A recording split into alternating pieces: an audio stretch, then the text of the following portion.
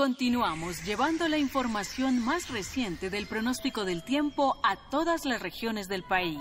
En la Sierra Nevada de Santa Marta se podrán presentar lluvias ligeras, mientras que en el resto del Caribe seguiremos experimentando condiciones secas. Los cielos seguirán abiertos en todo el archipiélago, por lo que se espera que persistan las condiciones secas en las islas.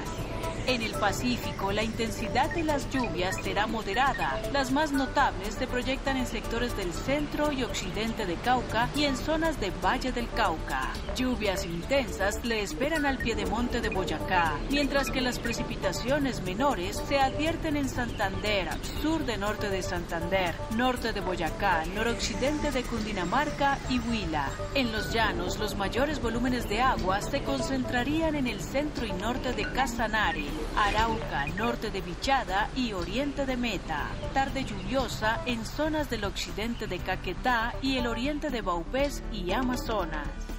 En Bogotá, los pronósticos anuncian lluvias ligeras y esporádicas en el oriente y norte de la ciudad. Mucha atención a las alertas que se encuentran activas para esta tarde.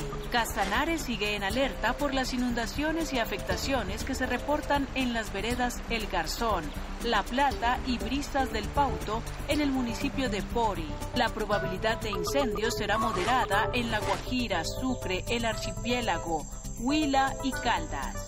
Mucha atención en Bolívar, Magdalena, Cesar, El Pacífico, Los Andes, Casanare, Meta y Caquetá por alta probabilidad de deslizamientos.